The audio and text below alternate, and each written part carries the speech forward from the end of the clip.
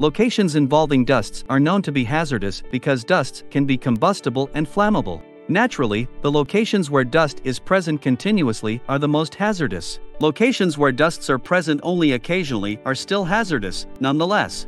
If electrical and non-electrical equipment is installed in such locations, the devices must be designed and constructed in compliance with safety standards specific to the nature of the hazard. As per International Electrotechnical Committee standards, the areas where explosive dusts may be present are categorized into three groups Zone 20, Zone 21, and Zone 22. This animation is about Zone 21. Zone 21 is defined as an area in which an explosive dust atmosphere, in the form of a cloud of dust in the air, is likely to occur occasionally in normal operation. Electrical or non-electrical equipment used in Zone 21 must not become a source of ignition in the form of hot surfaces or sparks.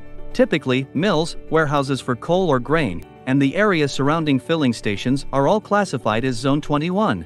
Let's look at a diagram that shows all three zones, Zone 20, 21 and 22. Zone 21 is the area where explosive clouds of dust can develop due to the occasional escaping of dust from the opening or dust filling stations. In order to be certified as compliant with safety standards for Zone 21, an electrical device must be protected by one or more of the following protection techniques.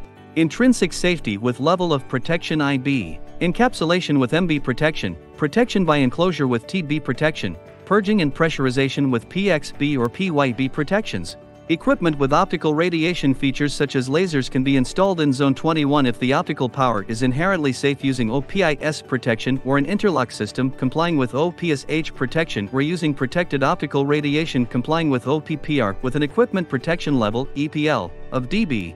Equipment suitable for use in Zone 20 can also be safely installed and used in Zone 21. We hope you enjoyed this presentation. Please ask the HAZCON team if you have any questions about Zone 21 hazardous areas and how to comply with the required safety standard. www.hazcon.com